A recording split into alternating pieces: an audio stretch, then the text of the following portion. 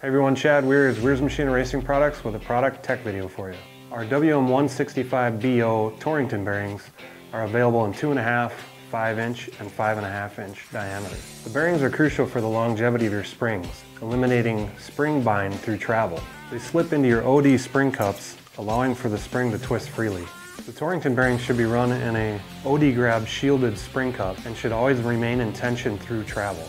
Every five nights you're going to want to take them out and clean them, re-grease them with a Lucas Oil Red and Tacky or a Schaeffer's Pro Moly chain lube. When you pressure wash your car, make sure you blow the Torrington bearings dry after you wash.